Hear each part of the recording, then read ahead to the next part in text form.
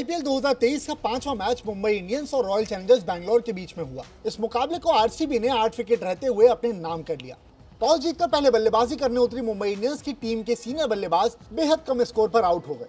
मुंबई के स्टार बल्लेबाज Rohit Sharma, Ishan Kishan, Cameron Green Surya Kumar Yadav और टिम डेविड 50 गेंदों में सिर्फ़ 35 रन बना पाए। लेकिन मुंबई इंडियंस की तरफ़ से टीम के एक खिलाड़ी ने टीम की डोर संभाल ली। और उस खिलाड़ी का नाम था तिलक वर्मा। तिलक वर्मा ने आरसीबी के खिलाफ 46 गेंदों में नाबाद चौरासी रन की पारी खेली। तिलक वर्मा ने अपनी शानदार पारी में कई ऐसे शॉट्स खेले, जिसे देखकर सभी हैरान रह गए। और उनमें से कुछ शॉट्स तो ऐसे थे, जिन्हें देखकर महेंद्र सिंह धोनी की याद आने लगी। तिलक वर्मा ने अपनी पारी की छियालीसवीं गेंद पर महेंद्र सिंह धोनी की याद दिला दी। उन्होंने इस गेंद पर हेलीकॉप्टर शॉट लगाया और गेंद सीधे जाकर स्टैंड में गिरी।